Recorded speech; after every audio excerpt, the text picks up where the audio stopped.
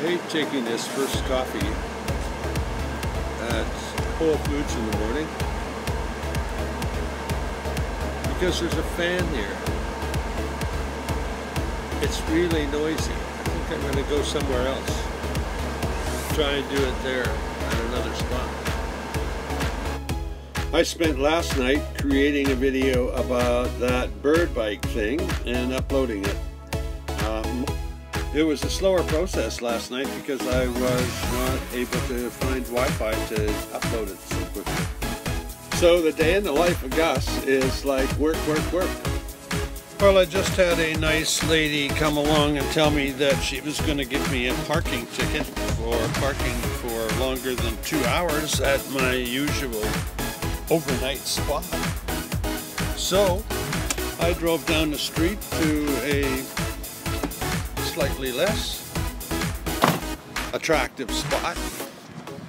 I came down to McDonald's. Don't know if you can see the sign. No, you can't. Uh, anyway, I came down here so that I could. Uh, I had just finished uploading my image. Now I'm lost.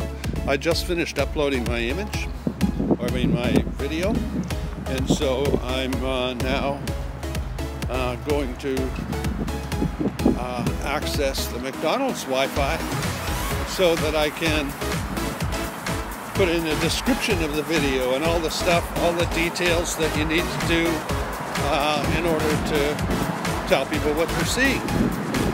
So I'm headed into there's the sign, McDonald's. Now this is probably less than a mile from where I was parked before, and I'll be here for maybe an hour, maybe pick up something to kill myself with, some food. Anyway, I'm inside, so now I'm gonna shut up. It's about some, it's about time I ate something anyway. Well, I came here for the Wi-Fi, not for the meal, but I got a meal and the Wi-Fi doesn't work. It's pretty common down here in the United States. Oh, the inconvenient life of a nomad. Now I have to have lunch and use my own Wi-Fi. I am exhausted. I woke up this morning, uploaded a video, then I started working on the next video, and then I remembered I needed to upload it, so I uploaded it. So at around 2.30, I was roasted from my spot, which was a, is a two-hour only parking spot, but I normally park there all day.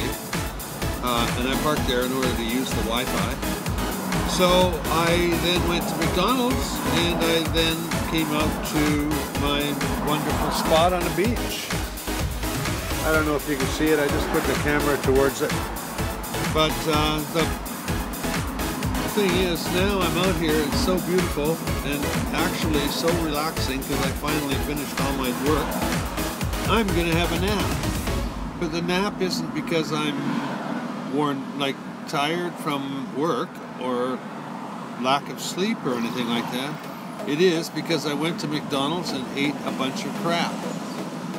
And that crap always just goes into my stomach, turns to sugar, and my body has to process that, so I end up having to go to sleep for a while.